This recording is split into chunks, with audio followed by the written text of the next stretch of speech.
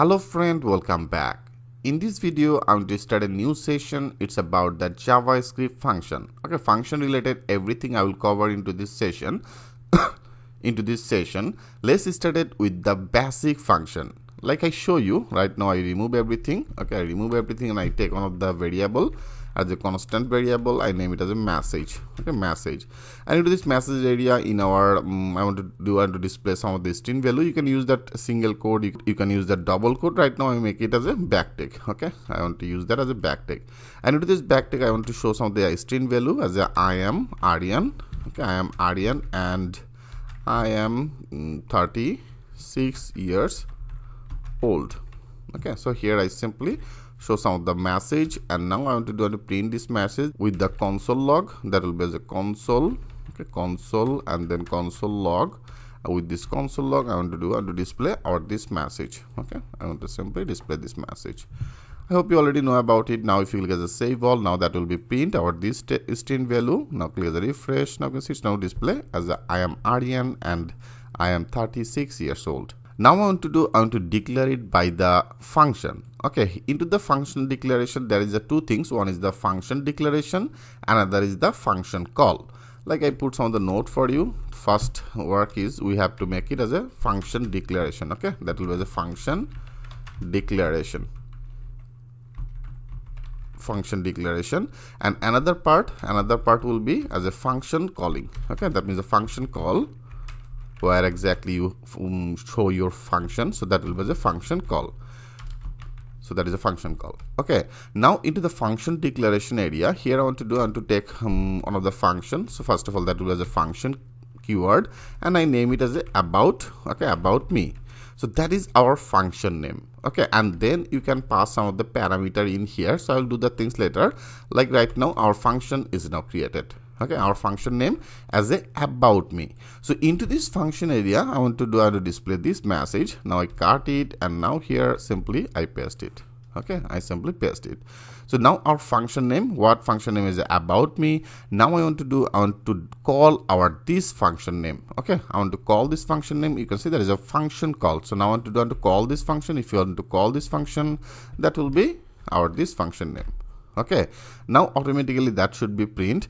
Like if you now click as a save all and now if you go click as a refresh. Now you can see it's now successfully displayed the same message as the i am aryan and i am 36 years old. Okay our function is now declared successfully. So into this function area into this function area they have of the parameters. So into this parameter you can actually insert some of the value. Like i want to do i want to take two of this parameter. One is the name and also i want to take another parameter as the age okay friend. So that is our two of this parameter. Now into this function from to the function area i want to pass some of the value. I want to pass that name value and also i want to pass that age value. Like here i name one of the string value as a kazi. I make it as a kazi and also i want to make it as a age. Age will be as a um, 30 okay age will be as a 30 now that is our name. If i parameter name i pass on the value as a kazi and age i pass it as a 30 so now if you want to do um, if you want to display it in a here dynamically then what exactly you have to do? I hope you already remembered that part. I have already discussed about that things with you. Then i i want to do to change that name right? So now this name will be comes from our this parameter area. So i have already named it as a name. So if you want to display it then that will be as a dollar sign that will be as a dollar sign and then the third bracket that means a curly bracket. And here we have to pass that name. Okay now that our name will be updated.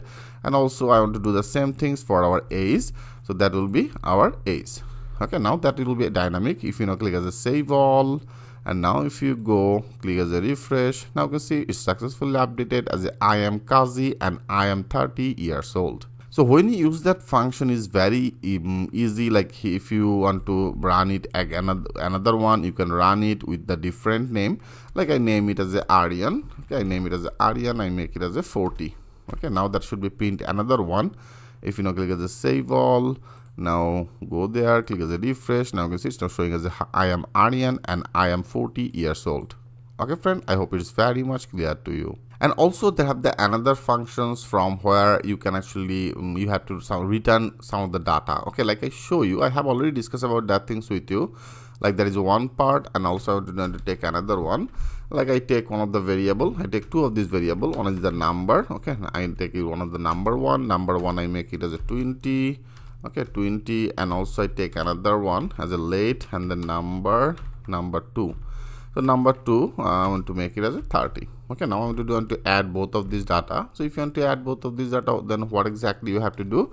I take one of the variable as a sum okay sum and then he, from here we have to add both of these. That means the number okay number number one and then plus number number 2 okay i want to add both of these.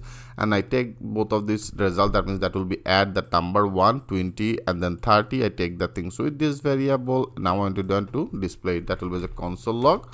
Into the console log area i want to display our this sum right? So now that should be display which value? That should be display as a 50 now if you click as a save all and now if you go click as a refresh now you can see it's now written as a 50 now I want to do the this work with using that function. So if you want to do that work with using that function what exactly you have to do? First of all I want to do to take one of the variable. Okay here I take one of the not variable I take one of the function. That will be as a function keyword and I name it as a calculate sum. Okay calculate sum. Whatever you name it so now right now I name it as a calculate sum. And into this calculate sum here I want to do and to pass two of this parameter. Okay I want to pass two of this parameter as a number. Okay number one and also I want to pass another parameter as a number 2 okay number 2 so this type of two of this parameter I simply pass it. Okay now that is our function.